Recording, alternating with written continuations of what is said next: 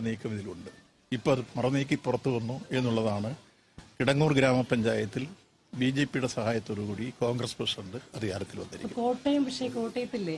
കോട്ടയം നഗരസഭയിൽ അവിശ്വാസം L D എഫും ബി ജെ പിയും കൂടെ അത് അവിശ്വാസം അത് അവിശ്വാസം വരുന്നതും ഭരണത്തിലേക്ക് വരുന്നതും രണ്ടെണ്ണല്ലേ? ഒരു കൂട്ടരൊരു അവിശ്വാസം കൊടുത്താൽ മറ്റൊരാൾ പുറത്തു നിന്ന് സഹായിക്കുന്നത് നമ്മൾ അതിന് യോജിച്ചൊരു ബെനിഫിറ്റ് ഇല്ലല്ലോ ആർക്കും. അത് ഇതും താരതമ്യപ്പെടുത്തേണ്ട കാര്യമില്ല. ഇത് യോജിച്ച് ഭരണത്തിലേക്ക് വരികയാണ്. ആ കാര്യത്തിൽ മൃദു ഹിന്ദുത്വ സമീപനം സ്വീകരിച്ചിരുന്നതിന്റെ ഭാഗമായി ഇപ്പൊ തുടങ്ങിയിരിക്കുന്ന ഒരു സൂചനയല്ലേ ഇപ്പൊ തൊട്ടടുത്ത പഞ്ചായത്തിൽ. ഈ തുടങ്ങൂർ പഞ്ചായത്ത് എന്ന് പറഞ്ഞാൽ പുതുപ്പള്ളി ഗ്രാമപഞ്ചായത്ത് പുതുപ്പള്ളി കോൺസ്റ്റിറ്റ്യൻസിയോട് ചേർന്ന് കിടക്കുന്ന ഒരു പഞ്ചായത്താണ്. ഉണ്ട്. അങ്ങനെ ഒരു ബന്ധമുണ്ട്. സംശയം വേണ്ട.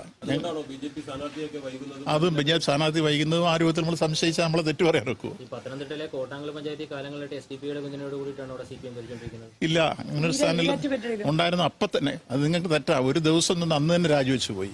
ഈരാറ്റുപേട്ടെ ഇപ്പോഴും കോട്ടാങ്കൽ പഞ്ചായത്ത് ഇല്ലില്ല അങ്ങനെ യാതൊരു ധാരണയും കേരളത്തിലെവിടെയും എസ് ഡി പി ആയിട്ടോ ബി ജെ പി ആയിട്ടോ ഇടതുപക്ഷ ജനാധിപത്യ മുന്നണിക്ക് ഒരു ധാരണയും ഒരു തരത്തിലുള്ള മുന്നണി ബന്ധവും ഇല്ല. ഈരാറ്റുപേട്ടയിലുണ്ടായി അന്നേരം തന്നെ രാജിവെച്ചു. ഇല്ല ഇല്ല ഇല്ല അങ്ങനെ ഒരു സംഭവം ഇല്ല. നിങ്ങൾ പോയി ജയിക്കിന് നിശ്ചയമായും ബി ജെ പി ആയിട്ട് ഒരു മുന്നണി ബന്ധം ഉണ്ടാക്കാൻ തന്നെ ശ്രമിക്കുന്നത് പരാജയ ഭീതിയിൽ നിന്നാണ്. കാരണം ഇടതുപക്ഷ ജനാധിപത്യത്തിന്റെ സ്ഥാനാർത്ഥിയെ പ്രഖ്യാപിച്ചതോടുകൂടി വളരെ ആവേശകരമായ പ്രതികരണം എങ്ങും എവിടെയും മണ്ഡലത്തിൽ അലയടിച്ചു വരുന്നു. അതുപോലെ തന്നെ വലിയ സ്വീകാര്യതയും കാണുന്നു. ഞങ്ങൾ ഉയർത്തിപ്പിടിക്കുന്ന മതനിരപേക്ഷ രാഷ്ട്രീയവും കേരളത്തിലെ ഗവൺമെന്റിന്റെ സമാനതകളില്ലാത്ത വികസനക്ഷേമ പ്രവർത്തനങ്ങളും ജനങ്ങൾക്ക് നന്നായി ബോധ്യമുണ്ട്.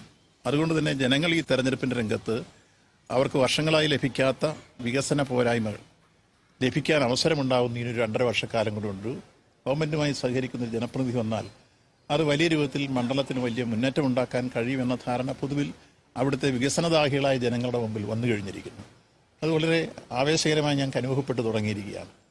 ആ കാര്യത്തിൽ ഒരു സംശയവും വേണ്ട. വളരെ വലിയ രൂപത്തിൽ മുന്നേറ്റം ഉണ്ടായി സംസ്ഥാന സെക്രട്ടറി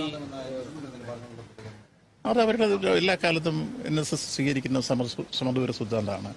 അദ്ദേഹത്തെ ഞങ്ങൾ കണ്ടിരുന്നു കണ്ടപ്പോൾ അദ്ദേഹം ആ കാര്യം ആവർത്തിച്ചു. അദ്ദേഹം പലപ്പോഴും കൃത്യമായി ആ അഭിപ്രായങ്ങൾ പറയുകയും ആ നിലപാടിൽ ഉറച്ചു നിൽക്കുകയും ചെയ്യുന്ന ആളാണ്.